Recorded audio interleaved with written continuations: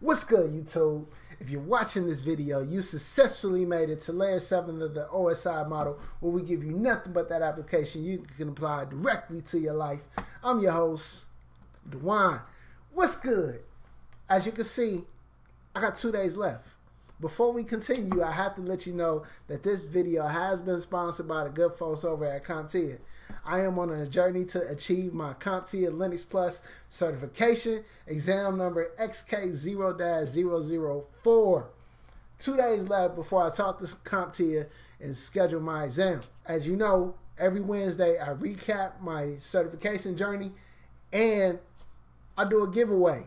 Today's giveaway will be for the CompTIA CertMaster Practice, which is exam questions to help you prepare for that Linux Plus exam. I just started going through it. The first tool that I used to prepare for certification was CertMaster Learn. All these links will be in the description. Next was Practice Labs. That's what I'm using now as well. And that's what I'll be using for this video. This video, I'm giving you 10 Linux commands that you should know. We're going to be doing this in the CompTIA Linux Plus Practice Labs.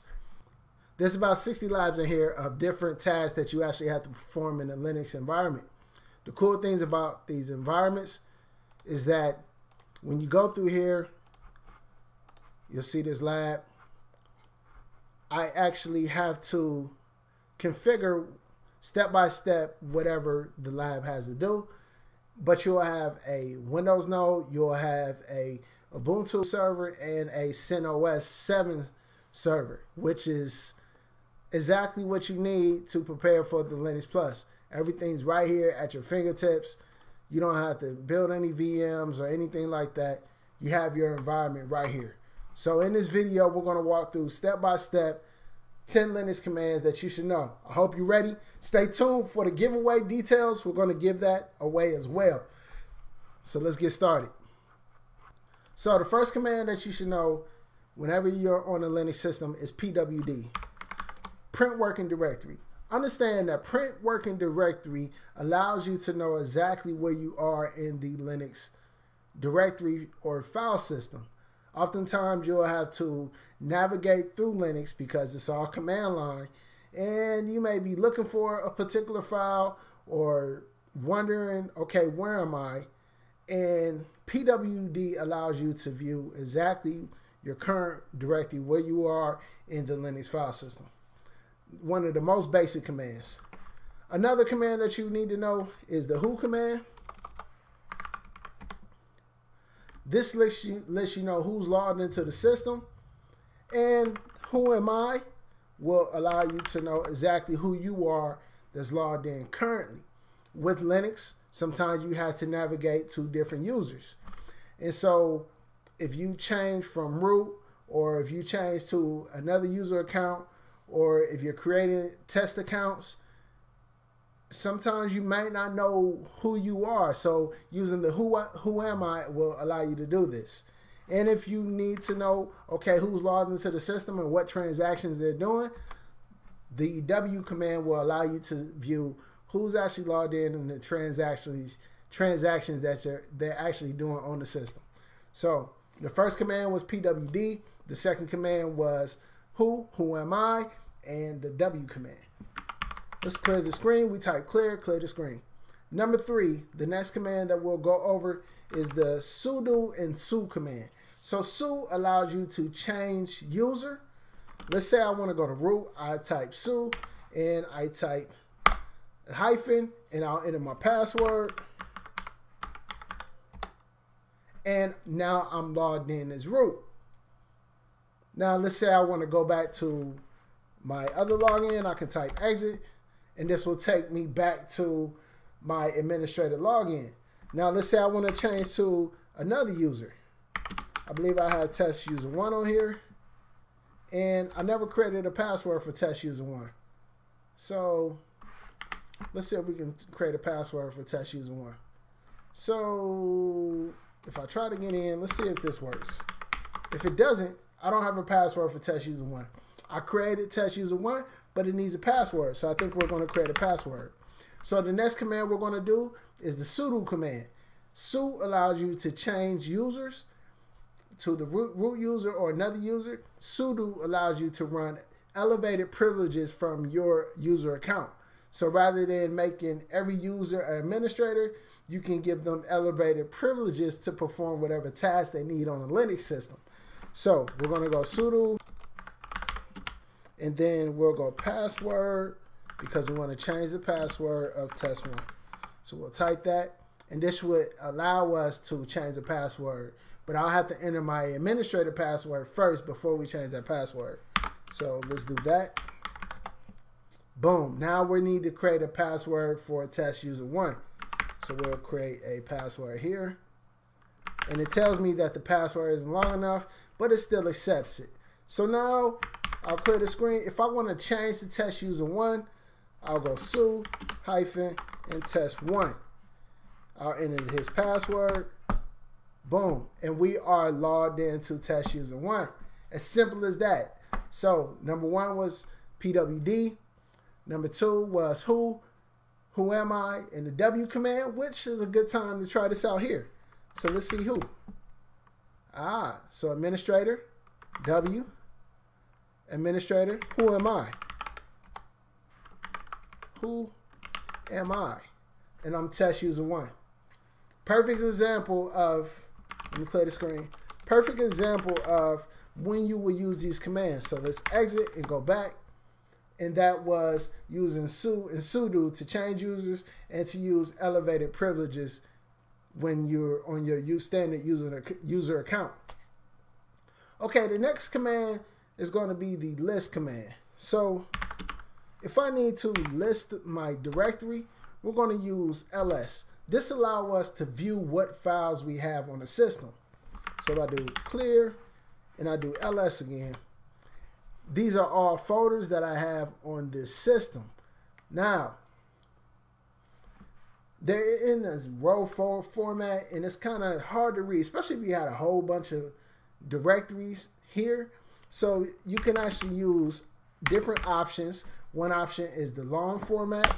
And in this long format, you actually see the permissions of these folders for the um, for the users, groups, and all that. Then you see the groups and the users um, for the owners of these files or directories, which I'm not going into all that here, but just know that in order to view those, you will use the long format, and you can actually add the A command to view the hidden files in that directory. Very useful.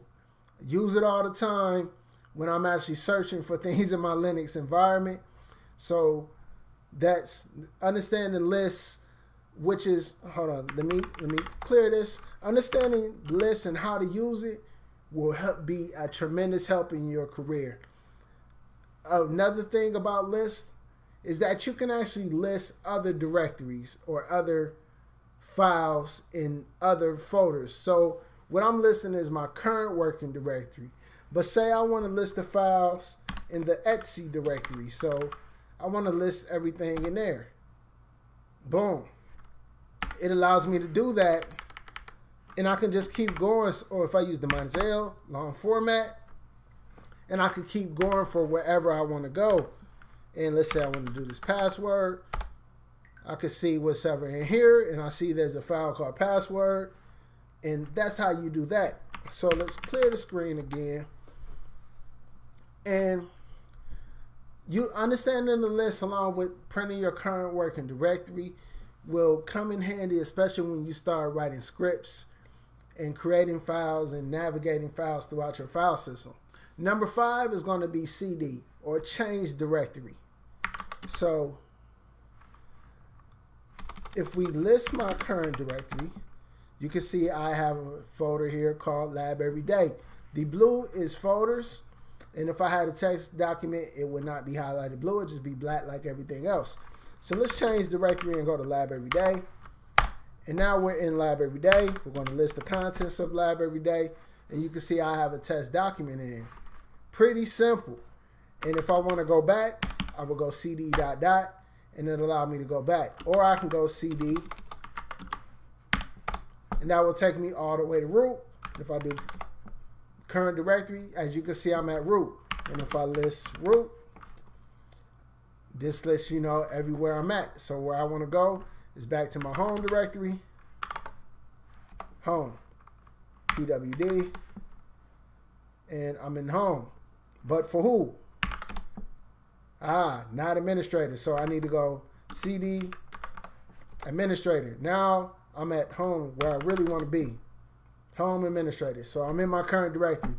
Pretty simple to navigate through, but that's how you pretty much do that. So see, clear my screen.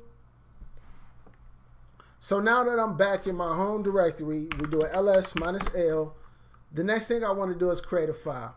But in order to do this, let's do it in the lab everyday folder. So let's cd and better yet, let's create a file, but let's create it in the lab everyday folder, not our current directory. So in order to do that, we're going to use the touch command and let's call this file lab everyday and let's call the file giveaway dot txt. Boom. So now we want to list and see if that file is actually in lab everyday. And as you can see, the giveaway text document is in lab everyday. Now, what we need to do is edit that file. So first thing we're going to do is change directory to lab everyday. We're going to list the contents in this directory. And you see, we have giveaway. So let's clear the screen, list it again so we make sure everything is in there. And we have this giveaway text document. So what we need to do is edit this text document for giveaway. So what we'll do is nano, type nano, and then giveaway text. What this does, which is number seven on the list, is open the nano text editor. Very simple to use, nothing complex, nothing complicated. If you're used to using Notepad++ Plus or Notepad standard that comes with your Windows system, this is nothing like that, but it's exactly like that at the same time. And the reason why I say it's nothing like it is because you can use your mouse for that. But for this, it's going to be all using your keyboard to enter your commands, to save your documents, and to navigate in the text editor. A lot of people use it. There's other text editors like Vim, VI, but for this, the most basic one to learn is Nano. So for the giveaway today, here's what you're going to do. In the comments section below, give me one skill that you want to learn from Linux and apply to your career. One skill. Along with the hashtag CompTIA Linux. I'm going to type it on the screen, save it in Nano, and then we'll go on to number eight in our list. So, in the comment section below, share one Linux skill that you want to learn and apply to your career. Hashtag CompTIA Linux. That's all you have to do. And I'm going to save this. Yes. All right, so I just saved it. Now, that's all you have to do. And now print this to the screen. So number eight on the screen is the cat command. The cat command allows you to print whatever text document that you want to view to the screen in a readable format. So cat, giveaway, boom. So in order to be in the giveaway, to be entered into this week's giveaway, in the comment section below, share one Linux skill that you want to learn and apply to your career with the hashtag CompTIALinux. Leave that in the comment section below. So number eight on the list was the cat command. Good luck, and I hope to see you this Sunday, 7 p.m. Central Standard Time on my YouTube channel. Okay, now that we did that, let's clear the screen. So we do ls minus l, we have this giveaway file. Let's say I want to move this giveaway file to my desktop. So what I'm going to do is type mv giveaway and we're going to move that to my desktop. So move that. We need to go dot dot up and then desktop. So now if we do ls minus l, you can see we only have one file in this directory. We had it before it was here. The giveaway file was there but we moved it to our desktop and we can verify that by doing ls minus l dot dot and then desktop and you can see that now on the desktop we have the giveaway file simple. Simple as that. It's so simple. So that was the move command. Now let's say we want to copy that file back into lab every day. So what we would do is copy dot dot and let's say desktop and giveaway and we would just want to copy it here. And we'll just do dot to our current directory. And as you can see it's copy dot dot desktop giveaway and the dot with a forward slash is our current directory. So if I clear the screen if I can type and I do an ls minus l that file is back. And it should be still be on the desktop as well. So ls minus l and we need to do dot dot and desktop and the file is still there. So now we move the file and we copy the file that was number nine on our list it's for all my networking gurus and for anybody that's going to be working on a linux system so we'll clear the screen and that's going to be ifconfig if config allows you to view your network configurations on your device. As you can see, we have ETH0. And here's the IP address of ETH0. My MAC address of ETH0, along with my IPv6 linked local address on my device. So all of that's there. Pretty cool. Pretty fancy. Ifconfig. You never know when you'll be in an environment, you need to tr- troubleshoot the network configurations of that environment. So understanding ifconfig is another one. Um, and also the route command is another great one. So as you can see, I have a default gateway configured on my ETH0. So this entire network, if you want to network, use this interface. So number 10 on the list was ifconfig. A bonus here at number, number 11, because I like to give bonuses, is the tracepath.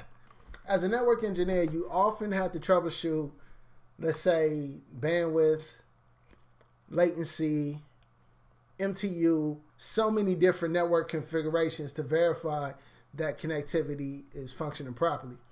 A cool thing about Linux is it has a command called the tracepath command. Now, I know you heard of trace route, so if you want to trace route, we could actually trace route to whatever address that we have. So now this will go per hop, per hop, per hop. Let you know how many hops, how many bytes and packets. It does it does what it's supposed to do throughout the network until it gets to its destination. But that's all it gives you. And depending on your Linux system, you may need elevated privileges.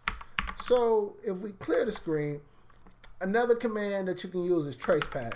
Tracepath not only gives you the hop information, but it also provides you MTU information throughout your paths. So if you're wondering what's the MTU that devices have configured, let's say a router or gateway, what MTU pack, packet size that it's allowing, this tracepath will allow you to verify that. Pretty cool command. This is something I just found out, so I'm excited to actually use this. Haven't had to use it yet, but I'm excited to see how it goes. So I hope you all enjoyed this video. If you did, hit this video with a like. If you didn't, hit this video with a like. In the comment section below, good luck on the giveaway. Give me one Linux skill that you want to learn and apply to your career today, along with the hashtag CompTIA Linux in the comment section below. If you have not already, subscribe to my channel. I look forward to seeing you all this Sunday live at 7 p.m. on my YouTube channel. Peace.